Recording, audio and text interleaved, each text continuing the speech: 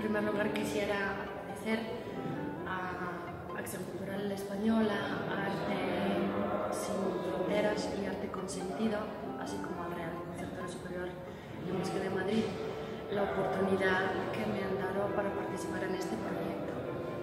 Eh, la verdad que ha sido una experiencia magnífica y sumamente inolvidable. Es la primera vez que he estado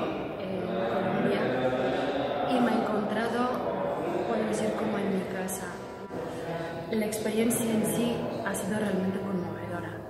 Los tres conciertos que pude realizar delante de un público tan, tan, tan receptivo, tan involucrado en el evento y con tantas ganas de aprender cosas nuevas, era realmente emocionante.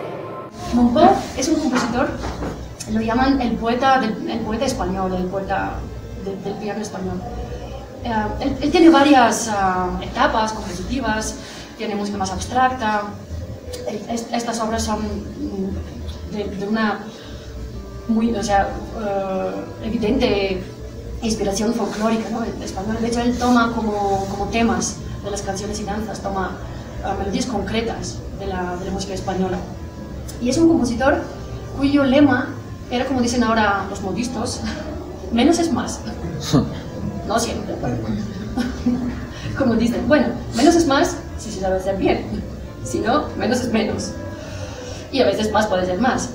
Pero claro, uh, él también decía que su forma de, ver la, de componer la música era hacer mm, algo con lo, uh, o sea, poner los maxi la máxima expresión con los mínimos medios. Y lo más grande es que lo ha conseguido. Porque claro, el que sabe, sabe. La gente me ha parecido muy cercana, con muchísimas ganas de uh, escuchar música y bueno, la organización, sobre todo arte con sentido, eh, se ha portado fenomenal conmigo, han sido muy cercanos. Cada evento ha sido diferente, pero sobre todo en la Academia de Bellas Artes, donde el público eran niños desde prácticamente bebés hasta gente ya mayor y formada.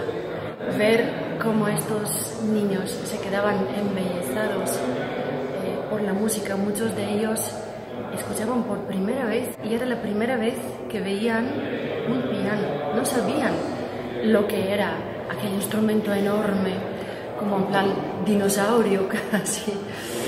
Y bueno, era de verdad una auténtica emoción tocar para ellos. Y agradezco muchísimo esas iniciativas porque creo que la música puede salvar vidas, puede salvar vidas en tanto en cuanto la gente ve que hay otras oportunidades, sobre todo la gente de barrios desfavorecidos. Entonces, mi más grato reconocimiento a Paula Arboleda y a todas las instituciones que han colaborado desde el punto de vista artístico con la Universidad Javeriana, la Universidad del Conservatorio de Cali, uh, de verdad, de punto de, desde el punto de vista artístico y organizativo. Desde luego recomiendo fervorosamente que esas actividades se sigan llevando a cabo.